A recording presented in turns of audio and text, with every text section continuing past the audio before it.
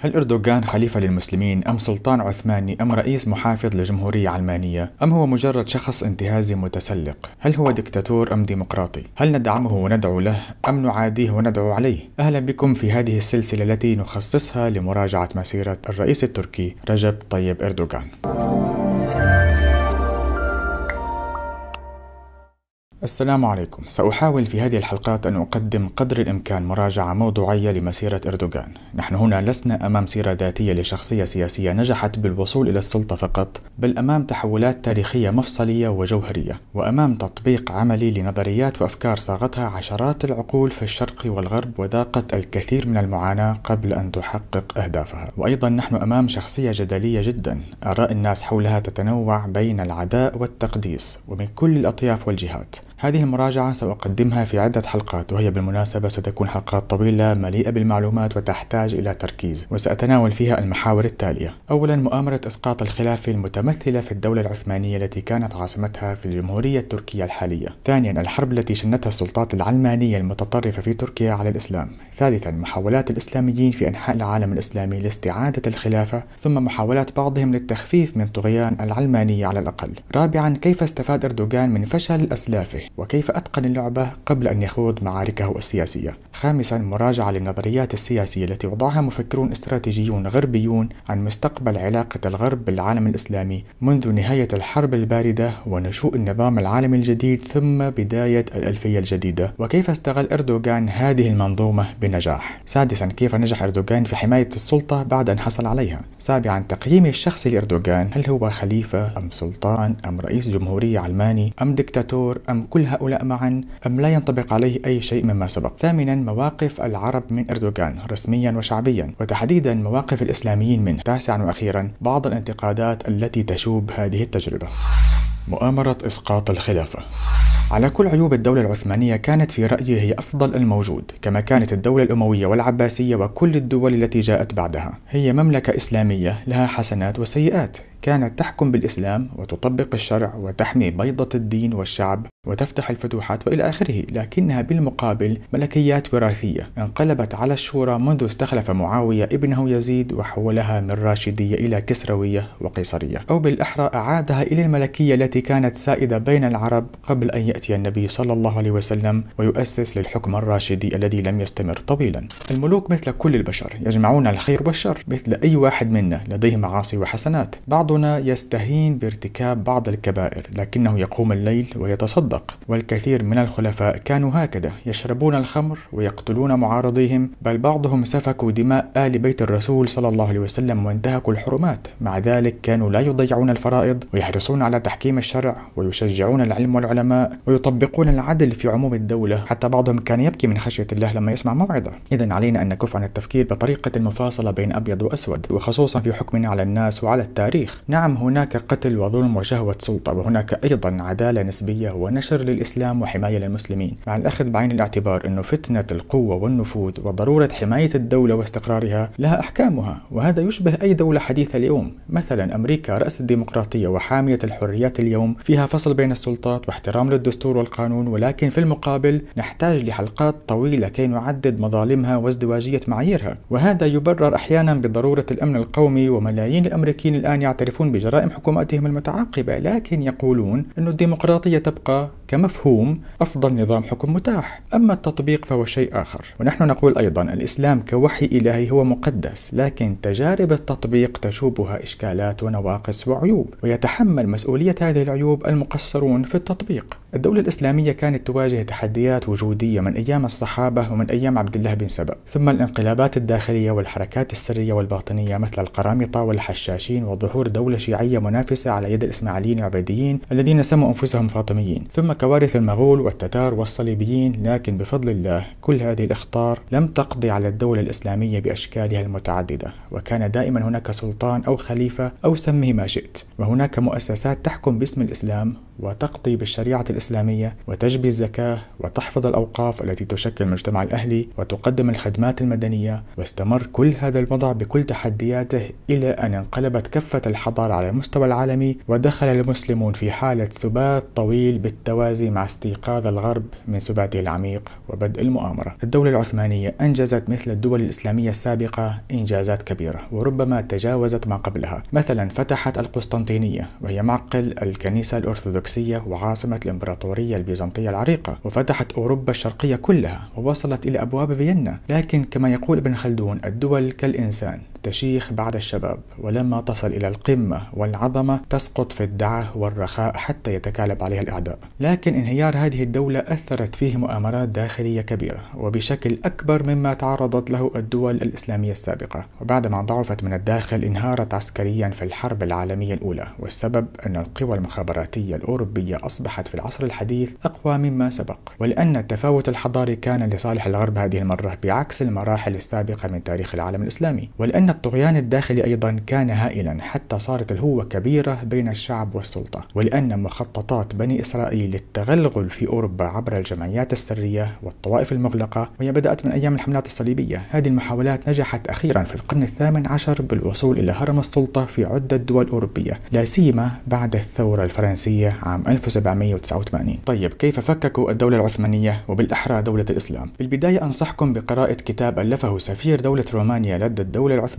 في آخر أيامها. اسم الكتاب 100 مشروع لتقسيم الدولة العثمانية من عام 1281 إلى 1913 هذا الكتاب من 600 صفحة لكن بعد الترجمة اختصره شكيب أرسلان وأضاف عليه تعليقاته وسماه التعصب الأوروبي أم التعصب الإسلامي. قراءة الكتاب مرهقة جدا.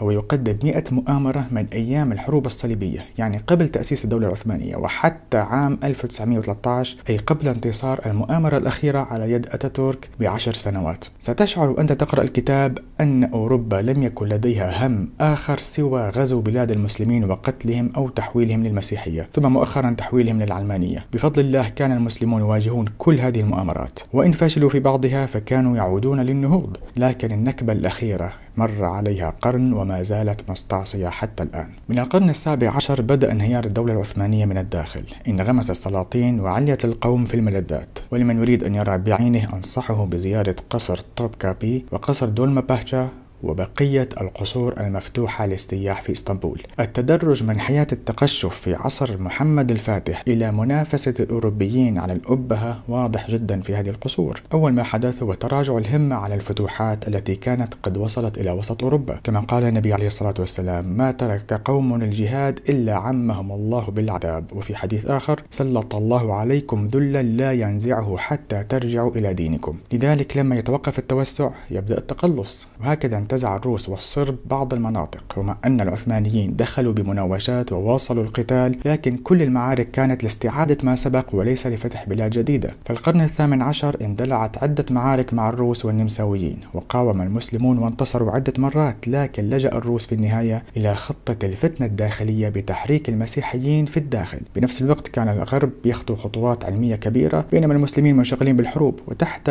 عنوان الإصلاحات استورد العثمانيون أنظمة إدارية وثقافية ثقافية واقتصادية واجتماعية من أوروبا واستوردوا معها دون أن يشعروا الثقافة العلمانية والشعور بالهزيمة والنقص. توالت الهزائم العسكرية على الدولة وتحالف الأوروبيون جميعا على تكوين خلايا نائمة داخل الدولة العثمانية عبر الأقليات الدينية المسيحية وغيرها. وللأسف بنفس الوقت كان بعض السلاطين يواصلون حياة الترف بالرغم من هذه الأزمات وكانت المؤامرات والاغتيالات داخل القصور في أوجها. بدأ التغلغل الماسوني رسميا في الدولة العثمانية مع تأسيس أول محفل سنة 1721 وكان هذا في إسطنبول ثم توالى تأسيس المحافل واستقطاب النافذين والمفكرين إليها. كانت المحافل تسعى في أوروبا وأمريكا والدولة العثمانية في نفس الوقت لنشر الأفكار العلمانية. وكبار منظري الفلسفات التي رسمت الخريطة الأيديولوجية للعصر الحديث كانوا كلهم تقريبا أعضاء في المحافل من ليبراليين وشيوعيين وعنصريين قوميين وانحلاليين إباحيين وغيرهم. كل الأفكار اللادينية كانت تطبخ هناك وتعيد صياغة أنظمة وسياسات سياسات وثقافات العالم كله. وهذا جزء من النشاط المعلن وغير السري للماسونية. بالتوازي كانت هناك طائفة تسمى يهود الدونمة تتحرك بكل الوسائل وهم فئة من اليهود العثمانيين المواطنين الذين اتفقوا على إخفاء اليهودية وإظهار الإسلام وقصتهم طويلة وتعود إلى حاخام يهودي اسمه شبتاي الزيفي ادعى في القرن السابع عشر أنه المسيح المخلص وبايعه يهود العالم ثم لما خاف من الإعدام أعلن إسلامه. ومن بعده واصل أتباعه الظهور باسم الإسلام والعمل على تدمير الإسلام في الخفاء ومن الداخل.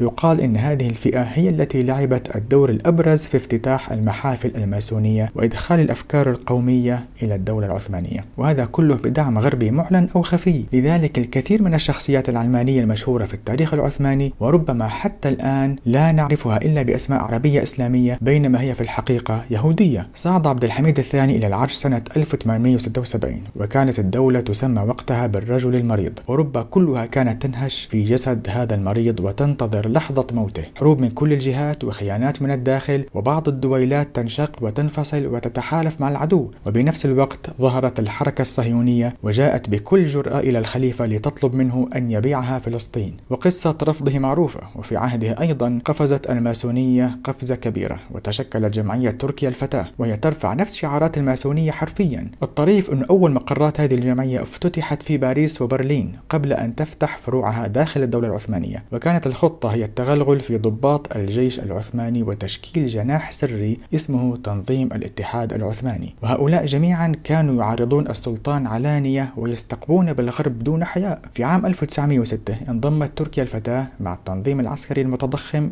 إلى جمعية جديدة اسمها الاتحاد والترقي. وكان دورها تكرار تجارب المحافل الماسونية في إشعال الثورات الفرنسية والأمريكية. وغيرها عبر استقطاب الضباط والنخب الفكرية والسياسية والمالية. حاول السلطان عبد الحميد مقاومة هذه الجمعيات ونادى بفكرة الجامعة الإسلامية لكن لا حياة لمن تنادي. كان العرب في أضعف مراحل تاريخهم والمؤامرات الغربية متغلغلة في كل شيء. وكانت نخبة العرب في باريس تؤسس أيضا جمعية العربية الفتاة بعام 1911 من داخل هذه المحافل خرجت أفكار القومية العربية وبعد سنتين انعقد المؤتمر العربي وليس في دمشق ولا القاهرة ولا بغداد بل أيضا في باريس. وبعد ثلاث سنوات انطلقت من الحجاز الثورة العربية الكبرى لما الشريف حسين أخذ وعدا من أوروبا بأن يمنحوه الاستقلال ويعينوه خليفة. فخانوه كما خان هو الخليفة وضاعت الخلافة على الجميع.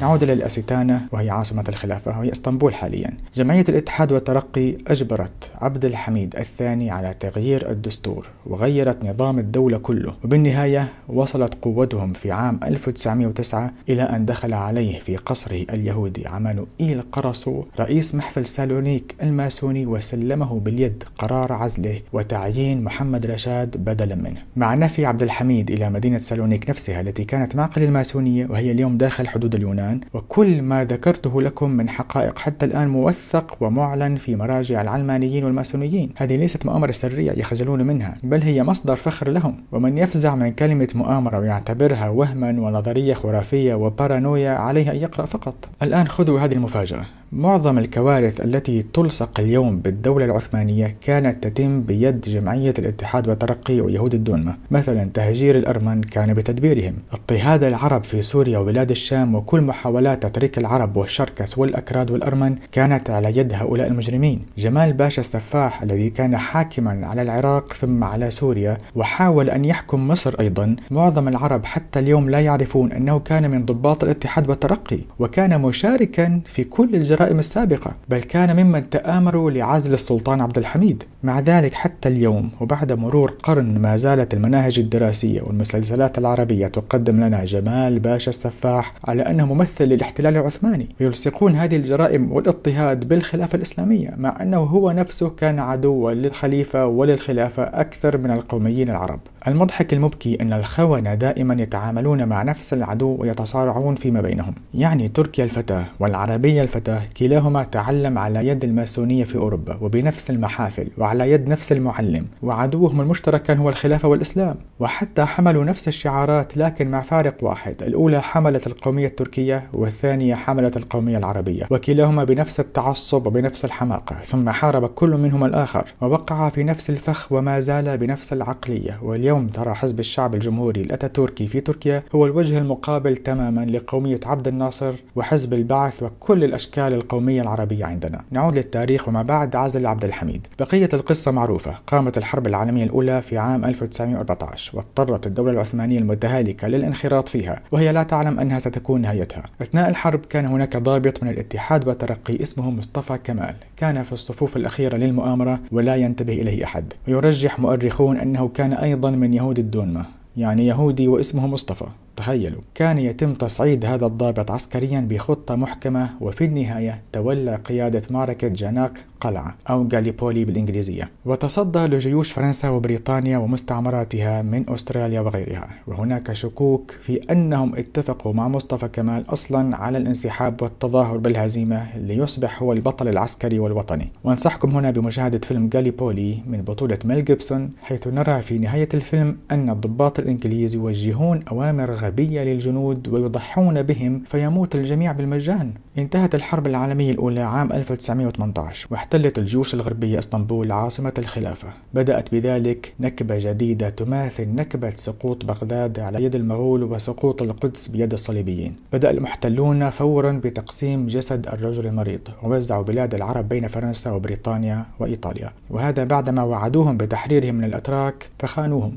السلطان محمد وحيد الدين كان جالسا على عرش هزيل والعدو يحتل بلده. أجبروه على توقيع معاهدة سيفر التي مزقت أوصال هذه الدولة. لكن حتى يصعد البطل البديل رفض مصطفى كمال وأعلن المقاومة. طبعا لم يقاوم فرنسا وبريطانيا وإيطاليا معذ الله لكن راح يقاوم اليونان الضعيفة التي كانت قد احتلت خلال الحرب أجزاء من الدولة العثمانية. والدولة الغربية جالسة تتفرج عليه حتى يصير بطل قومي. أما السلطان فلا حول له ولا قوة. انتهت المعركة وقال الحلفاء لليونان تعالي وقعي على تنازل للبطل مصطفى كمال. عزل السلطان محمد ووضعوا عبد المجيد مكانه حتى يوقع على معاهدة لوزان.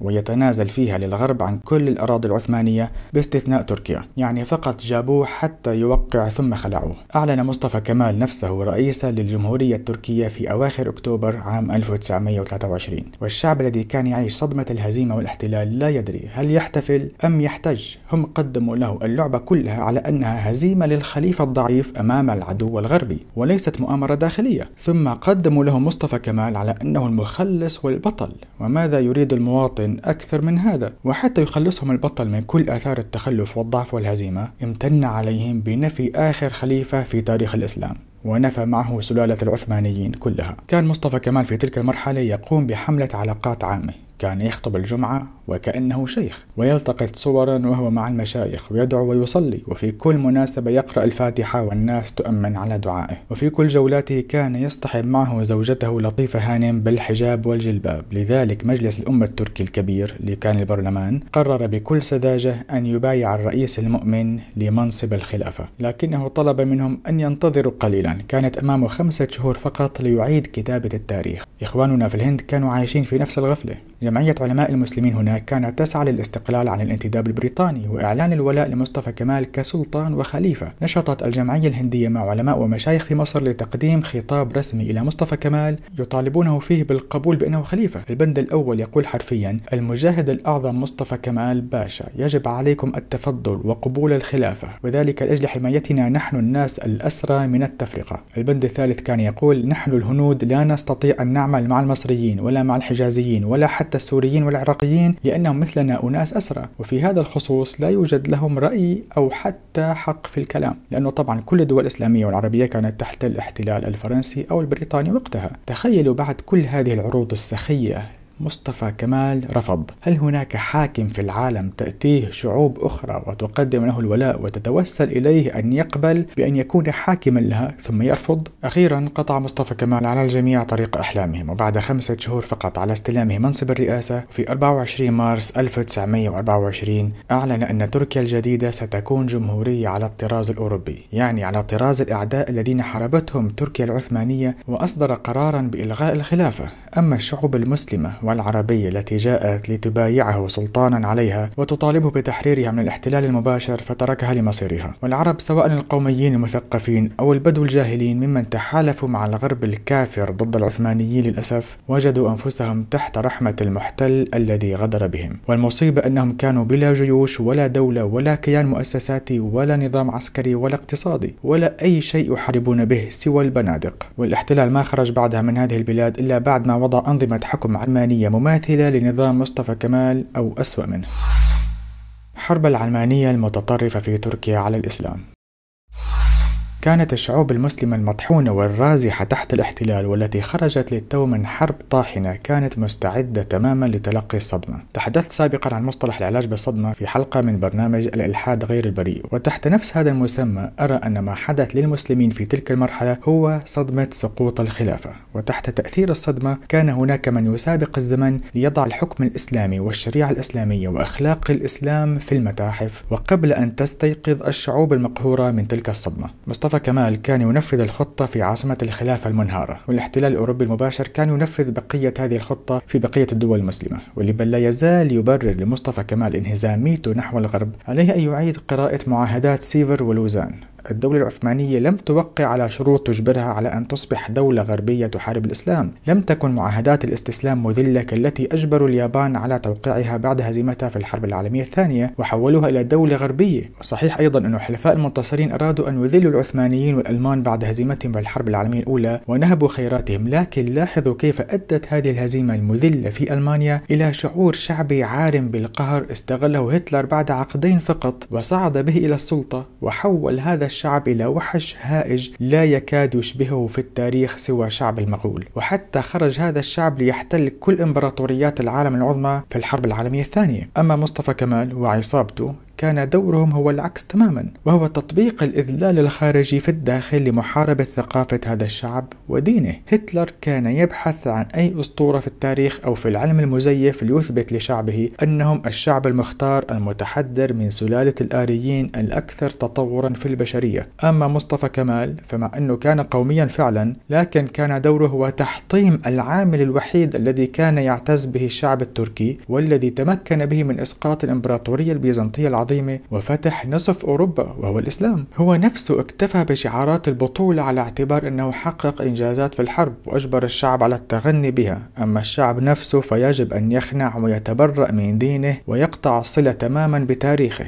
ولو أنه فعل مثل اليابان لكان أقل سوءا. اليابان مثلا قبلت بالهزيمة العسكرية ولم يتحول الألم لديها إلى حقد مثل الألمان وحولت طاقاتها التي كانت مخصصة للصناعات العسكرية إلى التكنولوجيا وتحول طموحها من النفوذ السياسي واحتلال دول الجوار إلى طموح اقتصادي. يعني لما كان الأوروبيون المنتصرون مشغولون بمواكبة التطور العسكري كانت اليابان في المقابل تسبقهم تكنولوجيا في كل شيء. أما مصطفى كمال فلا هو استعاد كرامة الشعب المهزوم مثل ما فعل فعل هتلر ولا حرضه على إثبات نفسه في ميدان المعرفة والتكنولوجيا مثل اليابان. هو تحول فقط إلى أداة بيد المنتصر لتدمير الإسلام في بلده. ولو كانت عاصمة الخلافة محتلة بشكل مباشر مثل دمشق والقاهرة وغيرها ما كان الاحتلال سينتقم من الإسلام بنفس تلك الطريقة التي فعلها شخص اسمه مصطفى كمال للأسف. مصطفى كمال كان يسابق الزمن لفك الارتباط بين الشعب التركي وتراثه الإسلامي الذي بناه العثمانيون طوال ستة قرون وإليكم بعض الأمثلة للقرارات المجحفة التي كانت تصدر تباعا. في عام 1928 صدر قرار تغيير الأبجدية من الحروف العربية إلى اللاتينية كي يصبح الجيل الجديد عاجزا عن قراءة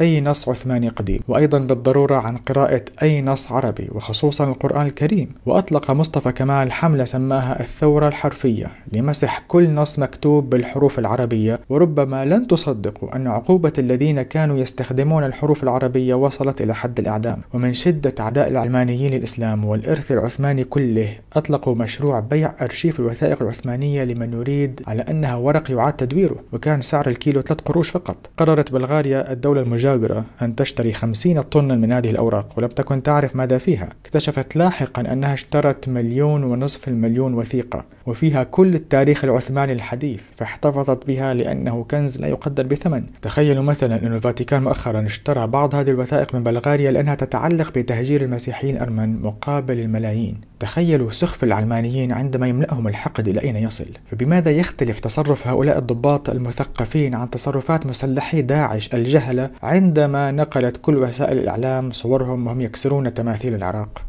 من القرارات الحاقدة أيضا منع الأذان باللغة العربية إغلاق مدارس الأئمة والخطباء إغلاق آلاف المساجد والزوايا الصوفية والمؤسسات الدينية الوقفية منع الحجاب على النساء في المؤسسات الحكومية وإجبار الرجال على لبس البرنيطة الأوروبية تغيير المناهج التعليمية لتصبح غربية بحتة. العطلة الأسبوعية صارت السبت والأحد نفس عطلة اليهود والنصارى. اعتماد التقويم الميلادي بدلا من الهجري. اعتماد قانون العقوبات الإيطالي والقانون المدني السويسري. حتى الأسماء الإسلامية صارت محرمة. المسلم التركي الذي يريد تسمية ابنه بمحمد صار مجبورا على تحريف الاسم ليصبح مهمات. تخيلوا. وعشرات القرارات الأخرى التي توجت بإدراج مبدأ العلمانية في الدستور عام 1937 وكل هذه الإجراءات التعسفية حدثت خلال أقل من 15 سنة فقط. تخيلوا صدمة الشعب التركي الذي كان يرى هذا الانقلاب الهائل أمام عينيه في مدة زمنية قصيرة. وبالمناسبة مصطفى كمال كان نموذجا للإسفاف الصريح بعد انتهاء مرحلة النفاق.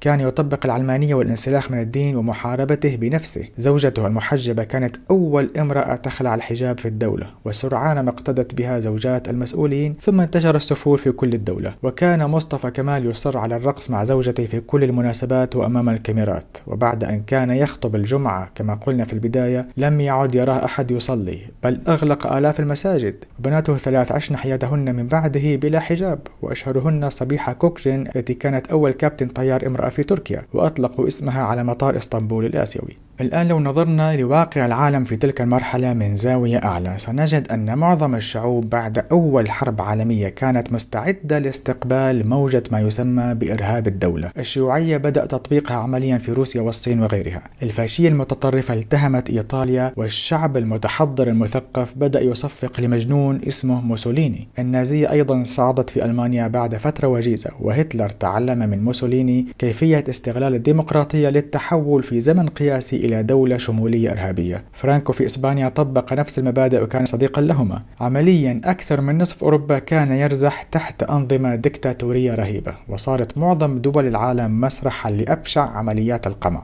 ولكنه كان قمعا ممنهجا وتستخدم فيه أحدث العلوم لتحويل البشر إلى عبيد وحتى لإجبارهم على الإلحاد وعبادة أشكال جديدة من الآلهة باسم التقدم ونبذ الرجعية. وحتى في المعسكر الغربي الليبرالي الذي لم يعرف الشيوعية ولا الشمولية وكان الشعار المرفوع المرفوع فيه هو الديمقراطية والعلمانية والليبرالية ظهرت تأويلات أخرى لتطبيق العلمانية. وصار من الممكن تحت مسمى الليبرالية نفسها أن تجبر الناس على التعلم في حياتهم الشخصية. وصارت العلمانية بذلك مقدسة مثل الدين تماما. وهذا التطرف العلماني للأسف تم إدراجه في الدستور في دولتين فقط فرنسا وتركيا. لكن فرنسا لم تكن دولة محورية في الدين المسيحي الكاثوليكي. بل هي أصلا مهد الهرطقة والجمعيات السرية الشيطانية منذ قرون. لذلك انطلقت منها الثورات إلى بقية الدول الغربية. أما تركيا فكانت عاصمة الإسلام والعلمانية طارئة عليها. يعني تخيلوا مثلا أن تتحول الفاتيكان إلى دولة علمانية متطرفة. هذا لا يحدث بحراك اجتماعي داخلي. في العالم الديمقراطي الغربي الجيش دوره الوحيد هو حماية الوطن من أعداء الخارج فقط. لكن في تركيا الكمالية العلمانية أصبح دور الجيش هو حماية العلمانية بكل صراحة. يعني جيش الفتوحات الذي كان يجاهد في الشرق والغرب لنشر الإسلام وحماية الثغور تحول إلى حرس للماسونية ويهود الدونما والعلمانيين. ولم يعد أعداؤه هم البيزنطيون والصفويون والصرب والروس والهنغار والبلغار واليونان كما كان في الماضي. صار للأسف أعداؤه فجأة هم شريحة ضخمة من الشعب المسلم الذي لا يريد العلمانية. بهذا الإرهاب كان مصطفى كمال يريد أن يلحق بالغرب كما يقول. تخيلوا إذا حجم النكبة التي تجرعها أجدادنا قبل بضعة عقود فقط. في عام 1934 سمى مصطفى كمال نفسه أتاتورك يعني أبو الترك ونص القانون على أنه لا يجوز إطلاق هذا اللقب على أي شخص آخر. يعني شوفوا التأله كيف يقنن. بعد حوالي سنتين فقط أصبحت العلمانية مبدأ مقدسا في الدستور التركي وهو ما لم تنص عليه معظم دساتير أوروبا وفي عام 1938 تجمع كبد أتاتورك وعجز الأطباء عن علاجه وهناك روايات متعددة عن سوء خاتمته على سريره في قصر دولما باهشا بإسطنبول والذي كان من قصور العثمانيين. وجاء من بعده من يتابع مسيرة القهر والحرب على الإسلام. وقد زرت أيضا في أنقرة ضريحه آنيت كابير وهو من أكبر الأضرحة في العالم لترسيخ صورة الإله الفرد. ولو لم أكن أعلم أنه كان ماسونيا لاكتفيت بما رأيته من الطراز المعماري الذي يحمل كل حجر فيه بصمة الماسون الذين كانوا يسمون أنفسهم بالبنائين الأحرار. ولمن يريد الاستزادة أحيل إلى مقال الماسونية في موسوعة السبيل وفيه توثيق لزيارة أعضاء المحفل الماسوني الدورية لضريح أستاذهم أتاتورك الرابط تجدونه في وصف هذا الفيديو. وهذه صورة لقبر عصمة إينونو خليفة أتاتورك والمدفون بنفس المكان أيضا في نفس الضريح والذي كان لا يقل تطرفا وكراهية للإسلام عن أستاذه أتاتورك وهو تولى رئاسة الأركان ورئاسة الحكومة عدة مرات ورئاسة الجمهورية قبل أن يموت عام 1973 محاولات استعادة تطبيق الإسلام. طبعا الكثير من المسلمين الترك لم يقبلوا بالانقلاب على دينهم وتاريخهم ولما أصدر مصطفى كمال قرار إلغاء الخلافة في عام 24 أعلن الشيخ سعيد بيران الثورة المسلحة لكن ما كان بيده سلاح ولا قوة بل مجرد ثورة شعبية عاطفية. لذلك لما طلب هو من الشيخ بديع الزمان النورسي أن ينضم إليه رفض النورسي وقال له هذه الثورة ستدفع الأخ لقتل أخيه يعني حرب أهلية. ومع أن النورسي رفض الثورة اعتقله العلمانيون ونفوه مع الكثيرين إلى بوردو وظل حوالي حوالي 25 سنة يتنقل بين السجون والمحاكمات. وبنفس الوقت كان يؤلف رسائل النور الشهيرة ويكافح سلميا ضد العلمانية. وفي السنوات العشر الأخيرة من عمره أدرك النورسي رحمه الله أن الإصلاح السياسي مستحيل. كان واضحا تماما أن ما تمر به الأمة غير مسبوق في تاريخ الإسلام منذ بعثة النبي صلى الله عليه وسلم. فحتى بعد مقتل آخر خليفة عباسي على يد المغول وبعد سقوط القدس في يد الصليبيين وحتى بعد سقوط الأندلس أيضا في يد القشتاليين كل هذه المحن لم تصل تصل إلى مرحلة انهيار الخلافة نفسها. كانت الخلافة تغيب في مكان وتبزغ في مكان آخر لكن هذه المرة هي المرة الأولى التي لا يوجد فيها ظهر للمسلمين على وجه الأرض.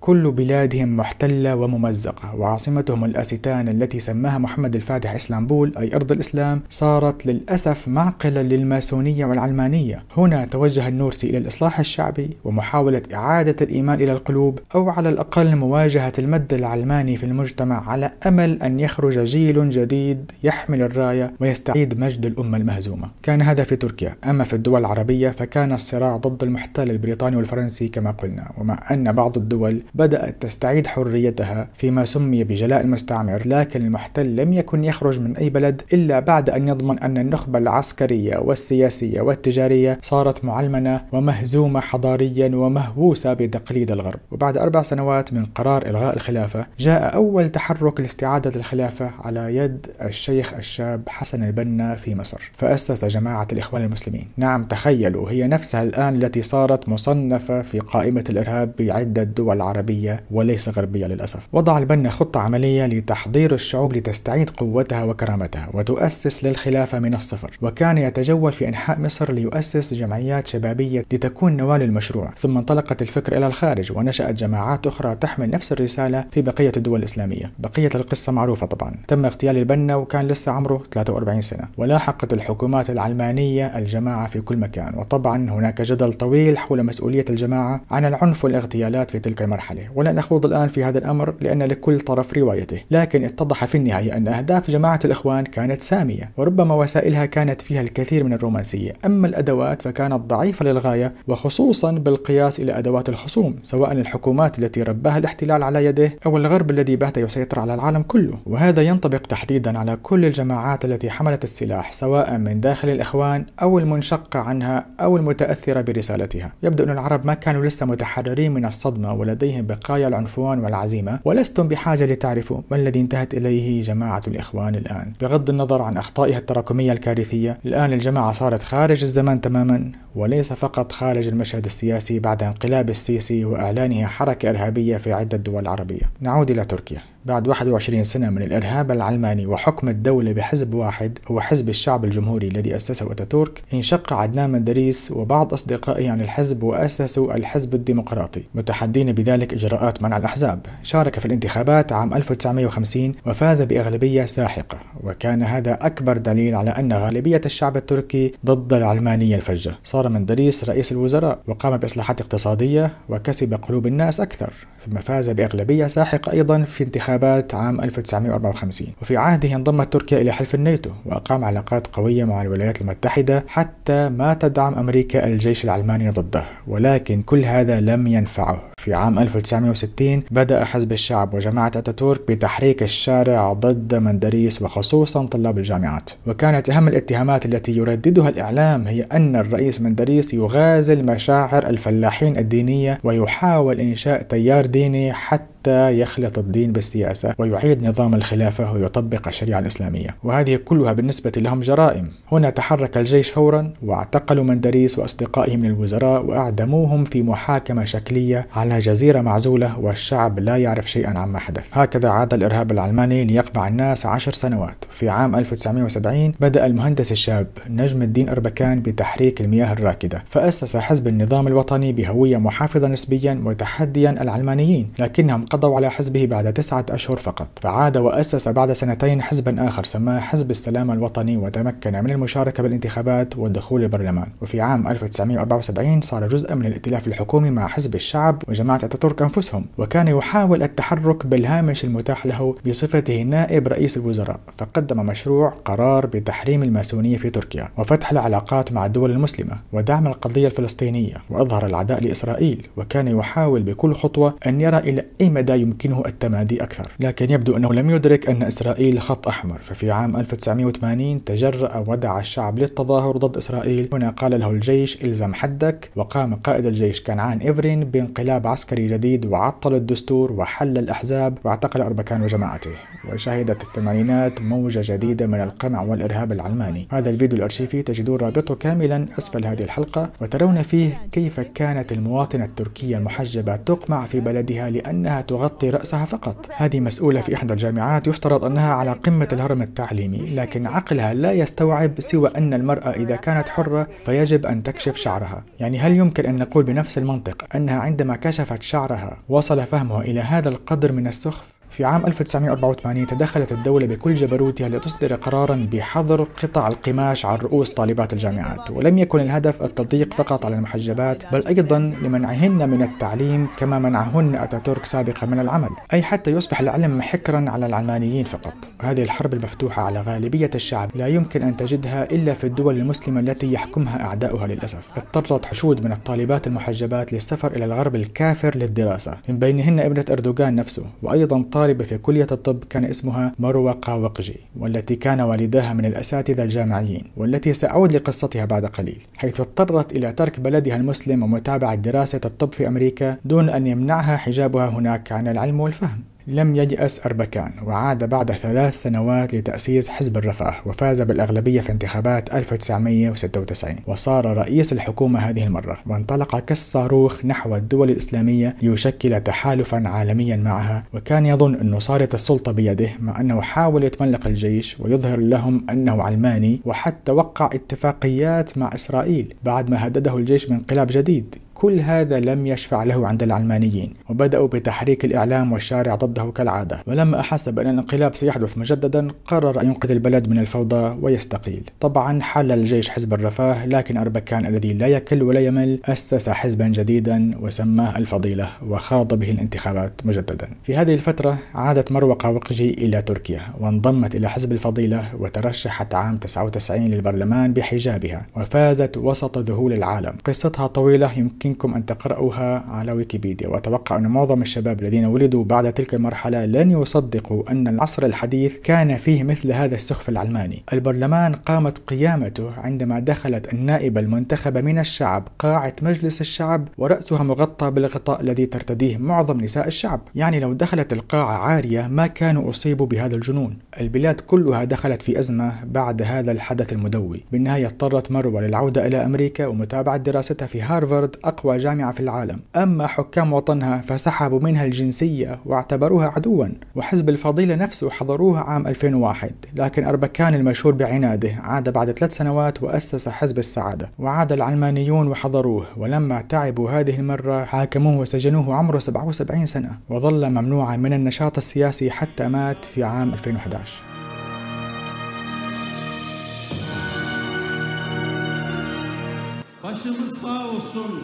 الآن لو أردنا أن نقيم تجربة أربكان فربما لا يختلف اثنان على أنه كان رجلا عظيما وصلبا حتى خصومه سيعترفون له بصبره وجلده وإخلاصه لقضيته ورسالته وحتى آخر يوم في حياته. ونحن نعترف أيضا بأنه حرك المياه الراكدة وأحرج العلمانيين وخفف كثيرا من تطرفهم وشجع الإسلاميين أيضا على التحدي وباستخدام الديمقراطية والقانون وصوت الشعب لكنه لم يستطع أن يناور بما يكفي. وهنا بالضبط ظهرت عبقرية العضو الشاب في حزب أربكان رجب طيب أردوغان مع مجموعة من زملائه. كيف تجاوز أردوغان؟ فشل أستاذه وتعلم منه ليحقق ما عجز عنه أربكان ومندريس والنورسي والبنا وكل الذين حاولوا في أنحاء العالم الإسلامي سواء بالعنف أو بالسياسة. أعلم أنكم متشوقون لمعرفة الجواب ولكن أعلم أيضا أني أطلت عليكم فحتى لا أكون ثقيل الظل سأؤجل الجواب إلى الحلقة القادمة. فانتظروني ولا تنسوا دعوة أصدقائكم للانضمام إلينا ومشاركة هذا الفيديو على صفحاتكم. شكرا لكم على المتابعة وعلى الاشتراك الاشتراك أيضا بقناتنا والسلام عليكم ورحمة الله.